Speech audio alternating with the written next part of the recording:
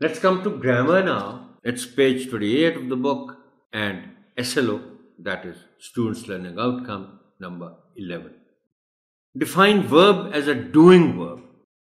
Verb سے بہتر ہے آپ ڈوئنگ ورڈ uh, ان کو بتائیں جو کسی کام کے کرنے یا ہونے کو ظاہر کرے ٹیل دا اسٹوڈنٹس ٹو سے سم ڈوئنگ ورڈس جن میں اس ان کو ایکشن ورڈز بھی کہتے ہیں یہ بچوں کو بتائیے گا کہ ورب کا جاننا اس لیے ضروری ہے، جیسے ہم وجہ بتائی تھی ناؤن کا جاننا کیوں ضروری ہے؟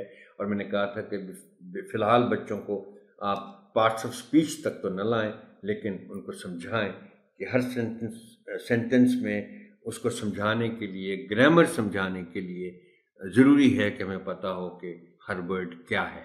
Help them with simple doing words یہ میں نے اپنی طرف سے کچھ بہت آسان سے ورڈس لکھے ہیں۔ یہ آپ مثال کے طور پر بچوں کو بتا سکتے ہیں۔ After the students attempt to write five verbs from the text give them the verbs in the first form یہ ورڈس ہیں۔ یہ پیج ٹوینٹی ایٹ پر یہ دیکھیں جو کوشچن نمبر ٹو ہے، وہ یہ ہے کہ read the story once again and write any five words verbs used net اب یہ چونکہ اسٹوری ہے تو اسٹوری میں آپ بچوں کو بھی بتائیں کہ پہلے بتائیں کہ وربس کی، ہر ورب کی تین فارمز ہوتی ہیں۔